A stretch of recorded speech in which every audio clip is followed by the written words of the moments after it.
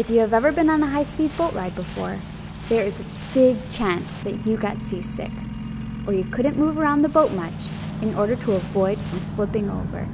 These very fast boats are super popular both for recreational and military uses, but due to their high speeds, these boats have a very complex interaction with the water they move over. That means when a planing boat is moving at a high speed, unpredictable or dangerous responses can occur.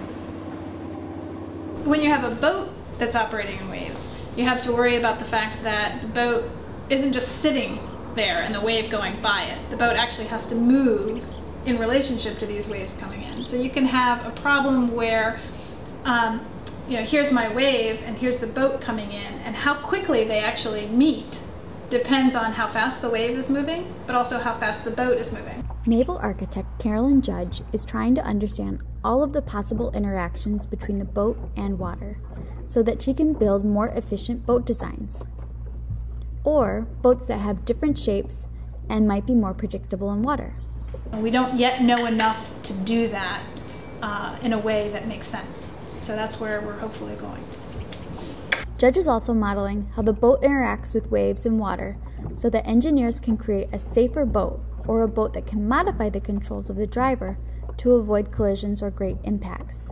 If we can model uh, with math what is happening when the boat is going through the waves, then we would be able to design a system to basically analyze it the same way that the driver's brain does it through experience.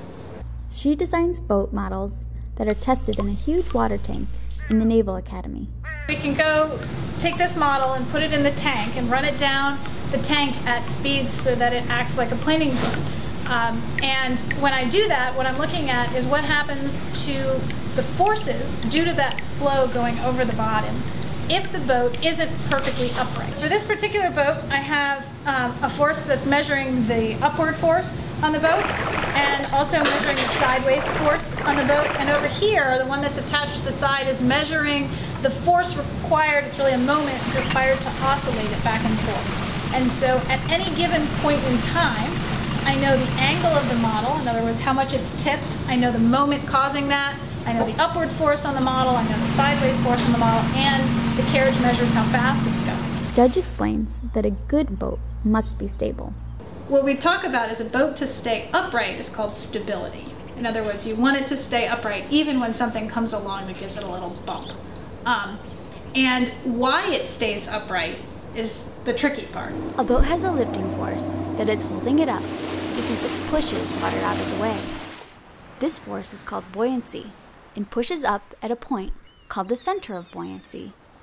There is also a force called gravity, pushing down on the boat due to its weight. For a stable boat, the center of buoyancy is directly aligned with the center of gravity. For the boat to be stable, these forces have to stay lined up, even when the boat undergoes crazy jumps and tilts. Carolyn figures out what needs to be done in either the boat's design or controls to keep these two forces lined up. If I have an upward force acting here and a downward force acting here, it tips my boat over, and that's unstable. So when you're designing a boat, you have to make sure that doesn't happen. When you have a boat like this, what's most important is where the height, in other words, how high up that center of gravity is. If anyone's ever been on a rowboat and you stand up and start walking around, the boat starts getting really tippy, right? It feels a lot less stable. You can easily end up in the water or have everybody end up in the water.